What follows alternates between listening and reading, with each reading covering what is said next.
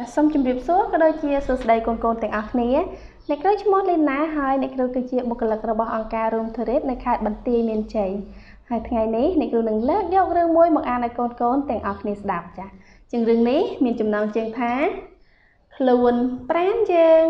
ចារឿងនេះផងដែរបាននិពន្ធដោយលោកស្រីហ៊ុយឆេងរតនានិងគូរូបដោយលោកអុកញ៉ាល់ចឹងតើតនេះសូមកូនទាំងអស់គ្នាចាំតាមដានថានឹងមានរឿងរ៉ាវអ្វីកើតឡើងខ្លះណាកូនណា ខ្លួនប្រានយើងយើងមានដៃពីរដៃទាំងពីរទុកសម្រាប់សំពះយើងសំពះចាស់ទុំ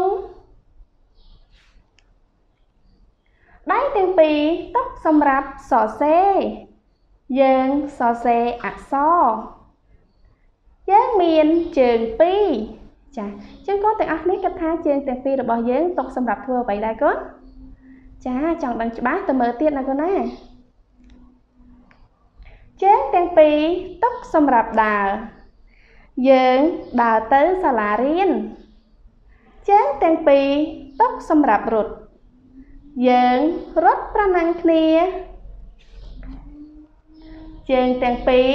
ទុកសម្រាប់ធាក់កង់ យើងធាក់កង់យើងមានភ្នែកពីរភ្នែកទាំងពីរទុកសម្រាប់មើល យើងអានសៀវភៅភ្នែកទាំងពីរទុកសម្រាប់មើល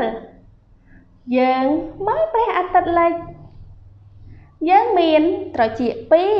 ចាចឹងកូនគិតថាតើត្រចៀកទាំងពីរយើងទុកសម្រាប់ធ្វើអ្វីដែរកូន ចាចង់ដឹងច្បាស់តាមដានទៀតណាកូនណាត្រចៀកទាំងពីរ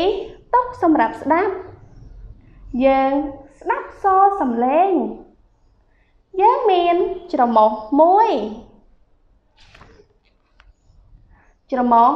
ទុកសម្រាប់ហិតក្លិន យើងហិតក្លិនផ្កា ច្រមុះ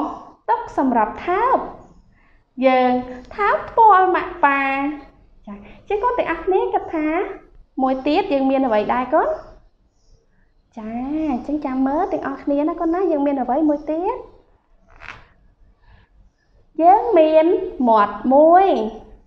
មាត់ទុកសម្រាប់និយាយមាត់ទុកសម្រាប់ច្រៀងចាអរគុណច្រើនការអានរបស់អ្នកគ្រូបានបញ្ចប់ហើយកូនកូនទាំងអស់គ្នាអញ្ចឹង តាមរយៈរឿងមិញតើយើងខ្លួនប្រាណយើងមានអ្វីខ្លះដែរកូនចាមានដូចជាជើងដៃមាត់ច្រមុះភ្នែកនិងត្រចៀកចាអរគុណត្រឹមត្រូវណាកូនណាអញ្ចឹងតើយើងមានជើងទុកសម្រាប់ធ្វើអ្វីដែរកូនចាល្អគឺទុកសម្រាប់ដើរទុកសម្រាប់រត់ទុកសម្រាប់ធាក់ធាក់កង់ល្អណាស់កូនចុះហេតុអ្វីបានជាយើងចាំបាច់មានមាត់កូនណា ចាល្អមែនតើគឺយើងទុកសម្រាប់ សម្រាប់និយាយសម្រាប់ញ៉ាំនិងសម្រាប់ច្រៀងចាអរគុណច្រើនការអានរបស់អ្នកគ្រូគឺសន្មតថាចាប់ត្រឹមនេះអ្នកគ្រូសូមអរគុណក៏ដូចជាសូមជម្រាបលា